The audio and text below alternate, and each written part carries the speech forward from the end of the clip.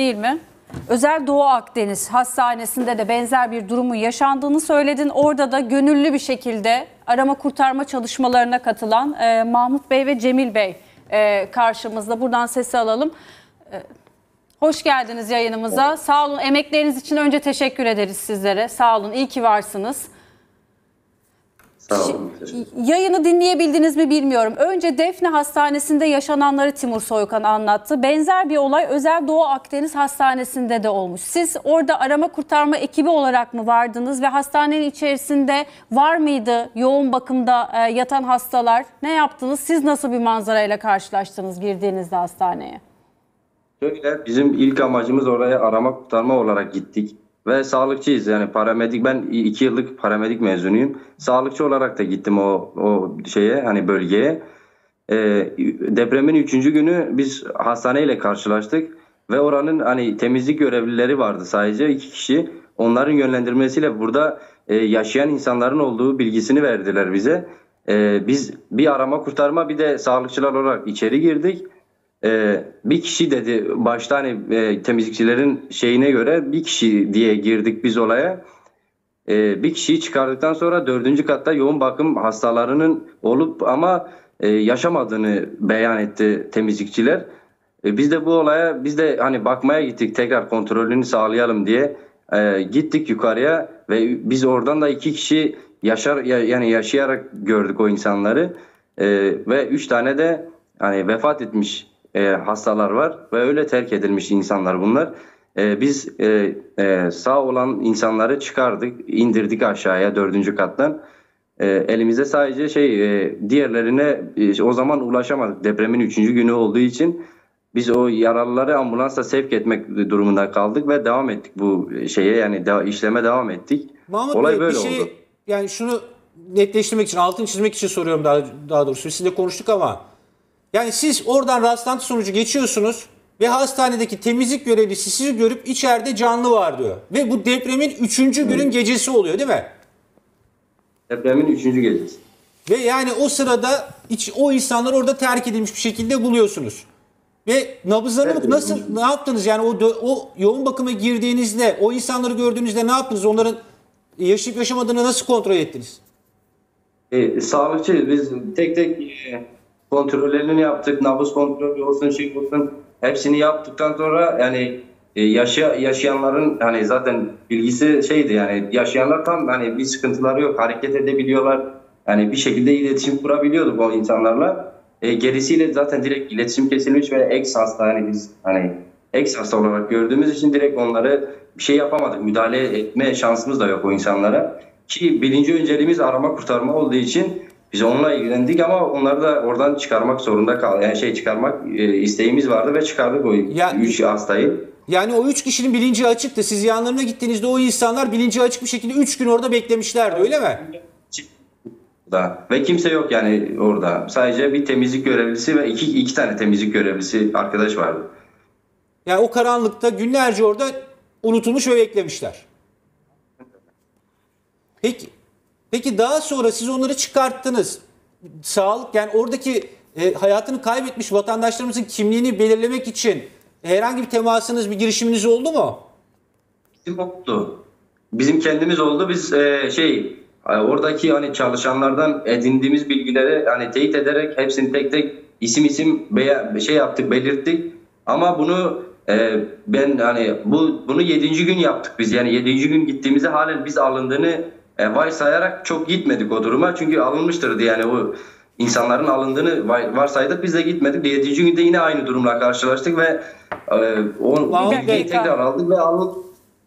Mahmut Bey bir saniye. Yedinci gününde gittiğinizde hala orada e, hayatını kaybeden hastalar e, çıkmamış mıydı dışarıya? Yani Aynen alınmamış öyle. mıydı?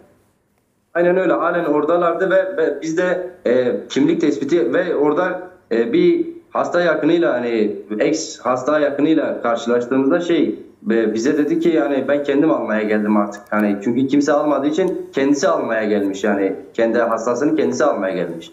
Vefatı için ve tespiti için. E, Cemil Bey bi- biraz da siz söz edebilir misiniz? Siz de sağlıkçıydınız değil mi o gün gittiğinizde? Siz de orada sağlıkçı olarak vardınız. Peki yani hastanede bir yıkım söz konusu muydu? Ağır hasar vardı fakat e, moloz şeklinde bir yıkım yoktu. Yani ağır hasardan kastımız kolonlar patlak evet. Artçı depremler de devam ettikçe hastane daha fazla hasar almaya başladı. En son 6.4'lük depremden sonra da hastanenin mevcut durumu hakkında bilgimiz yok e, fiziki anlamda. E, tabii inşaat mühendisi de değiliz, sağlık profesyoneliyiz. Bu nedenle tek odağımız e, kolonların sağlam olduğu, fiziki bütünlüğün olduğu içeride merdiven boyunca veya e, koridorlarda ufak tefek çok fazla iri yolu kapatacak şekilde değil de ufak tefek parçaların olduğu e, malzemelerin düştüğü durumlar vardı. Yani ulaşılabilseydi, doğru zamanda gidilebilseydi, arama kurtarma yapılabilseydi bu insanlar orada canlı olarak kurtarılabilecekti. Ee, şöyle ki depremin ilk anından itibaren yoğun bakımda zaten deprem öncesinde yoğun bakımda yatan hastalardan bahsediyoruz. Erişkin hastalardan. Şimdi bu hastaların bir kısmı cihaza bağlı hocam. Yani mekanik ventilatör dediğimiz solunum cihazlarına bağlı. Bu nedenle deprem olmasıyla birlikte e, bu hastaların artık elektrik kesintisi ve cihazın olmamasıyla beraber herhangi bir fiziki bütünlüğü bozulmasa bile yaşamları son bulur. E, fakat entübe olmayan hasta hastalar fakat erişkin yoğun bakımda takibi yapılması gereken hastalar halen 3. 4. gün yaşayabilen hastalar. Diğerlerinin hayatını kaybetmesi ilk saatlerde kuvvetle muhtemeldir. Peki yani oraya girdiğinizde sonuçta hava koşulları da çok zorlu bir dönemden bahsediyoruz. Yani eksi 10'a kadar gece sıcaklığının düştüğü, soğuk olduğu günlerden. Yani yani o, o da öldürücü olmuş olabilir mi vatandaşlarımız için? Yani yoğun bakım için bu geçerli değil. Ee, bu şekilde olsaydı e, diğer yaşayan iki kişi de vefat ederdi. Peki onları çıkartırken yani zorluk yaşadınız mı? Nasıl çıkarttınız? Desteğe geldiler mi yanınıza? Yani sedye bulamadık. Akabinde işte Mahmut özellikle e, sedyelerle indiremeyeceğimiz bir durum. Sedye bulamadık derken yanlış ifade ettim. Sedyeyle indirebileceğimiz bir durum söz konu değil. Travma tahtası arayışımız oldu hastane içerisinde hastaları indirebilmek adına. Travma tahtalarına erişemedik. Mahmut senin kapı mıydı abi? Aynen. bir ta- tahta kapı benzeri işte bildiğimiz tahta kapı üzerinde travma tahtası olarak kullanıp hastaları e, 112 kara ambulanslarına teslim edebilmek adına dışarı çıkarmak durumunda kaldık. Hastayı e, kapıya sabitlemek durumunda kalındı. Peki yani normalde böyle afet siz sağlıkçı olarak aynı zamanda soruyorum. Yani ameliyathanelerin ve e, yoğun bakımların herhalde bir sistemi olması gerekiyor bununla ilgili. Ya da Sağlık Bakanlığı'nın böyle yerleri kontrol edebileceği bir sistem olması gerekiyor değil mi? Ya da doktorların başhekimle oraya bu yani nasıl ölüme terk edilebilir hastalar?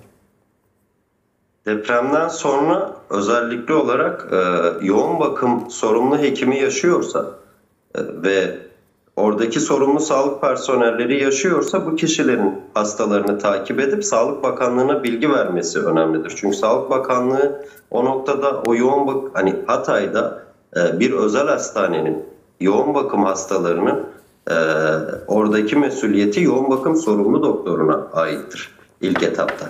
Yani bu sorumlu doktorlar yaşıyorlarsa şayet kendileri örnek veriyorum bir e, travma dahilinde hastaneye kaldırılmadıysa ve bilinçleri açıksa evet bu hastaları takip etmek durumundalar. Ya, Sağlık Bakanlığı'na bu bilgi hiç gitmemişti bile. 112'ye bu bilgi gitmemişti.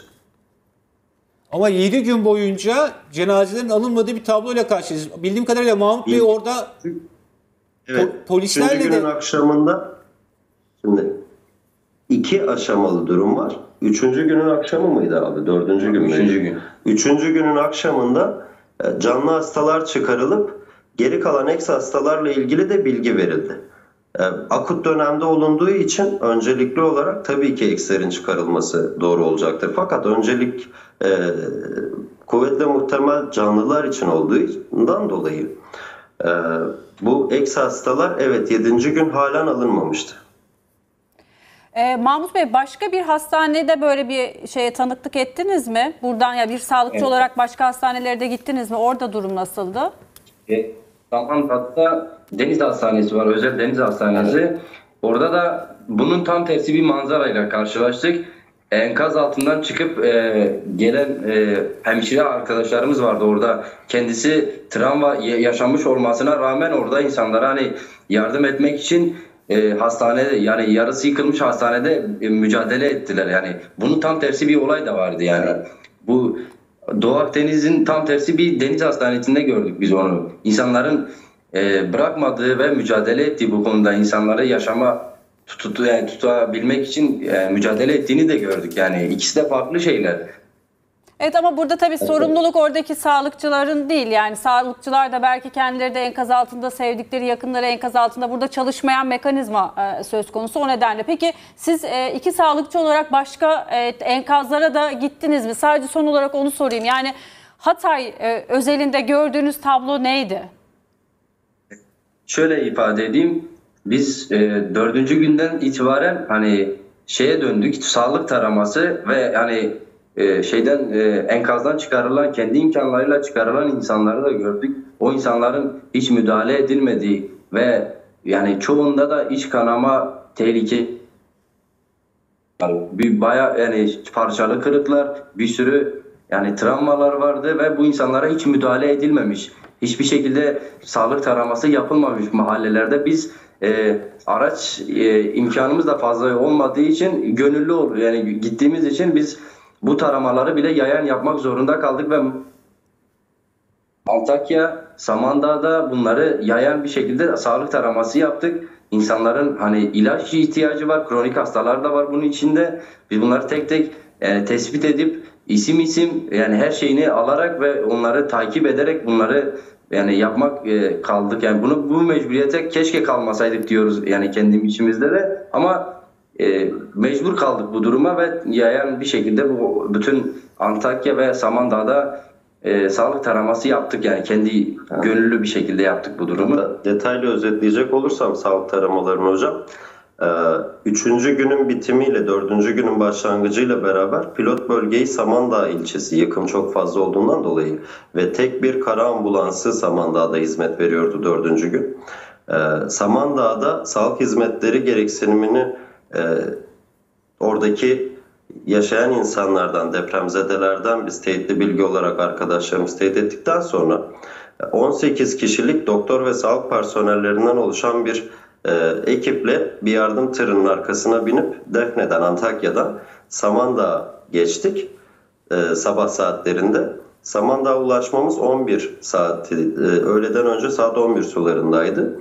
Akşama kadar yardım tırının geri döneceği saate kadar Antakya merkezi biz Samandağ'da her sokağa yürüyerek elimizde işte e, yetkinliklerimize göre e, doktor ve sağlık personellerinin gerek dikiş setleri gerek işte e, travma stabilizasyonu için elastik bandajlar ve e, alçı olmadığından dolayı atel alçılar tahtayla sabitlemek durumunda kalıyorduk bu hastaları. Çünkü parçalı kırıklar vardı ve amputasyon sayısı bu ihmallerden dolayı kan dolaşım bozulduğu için artıyor. E, Bu ciddi bir konu. Evet. E, Öncelikli olarak biz her yaşayan bireyin yani kendi imkanıyla enkazdan çıkmış bir şekilde deprem anında kaçarken darbe almış her insanın e, travma hastası olarak değerlendirilmesi. Yani sokakta evet çadır bekliyor fakat bu bir travma hastası olarak kabul edilmeli ve travma hastalarında iç kanamalar e, ve travmanın maruz kaldığı bölgeye bağlı olarak kafadaysa bu beyin kanaması da olabilir intrakraniyal kanama diyoruz E, veya ekstremitelerde ise parçalı kırıklarda e, uzuv amputasyonuna yani kol bacakların ampute edilmesine kadar giden bir süreçten bahsediyoruz. Bu Gönüllü nedenle olarak dolaştınız sokak sokak orada. Peki bugün şu anda Hatay'da mısınız Mahmut Bey? Hayır. Hayır. Değilsiniz. Oradan. Ee,